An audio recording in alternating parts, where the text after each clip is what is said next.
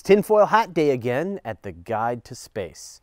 There are some people who would have you believe the universe is expanding.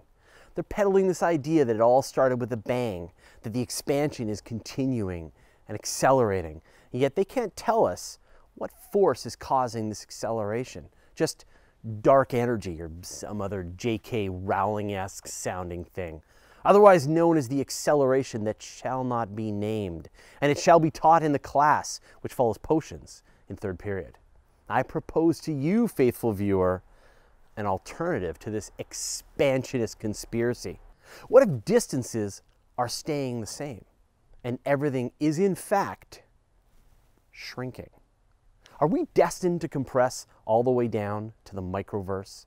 Is it only a matter of time before our galaxy starts drinking its coffee from a thimble, or perhaps sealed in a pendant hanging on Orion's belt? So could we tell if that's actually what's going on?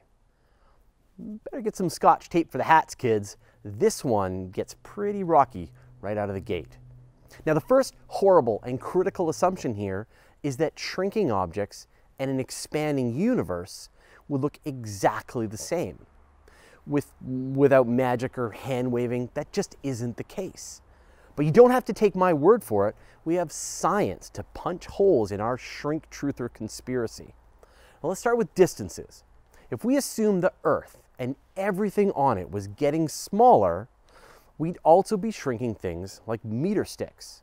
In the past, they would have been larger, and if everything was larger in the past, including the length of a meter, this means the speed of light would have appeared slower in the past. So, was the speed of light slower in the past? I'm afraid it wasn't, which really hobbles the shrinky dink universe plot. But how do we know that?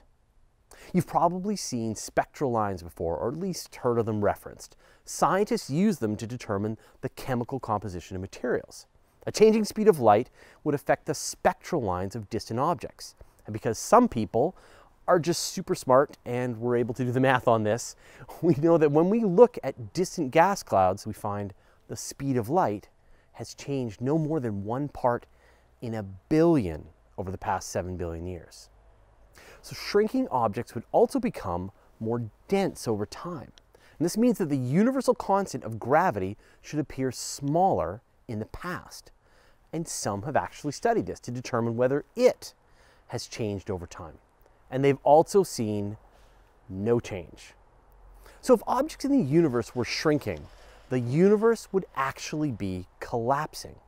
If galaxies weren't moving away from each other, their gravity would cause them to start falling towards each other.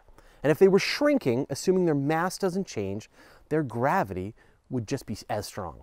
So shrinking wouldn't stop their mutual attraction. A universe of shrinking objects would look exactly opposite to what we observe. So good news. We're pretty sure that objects and us and all other things in the universe are not shrinking.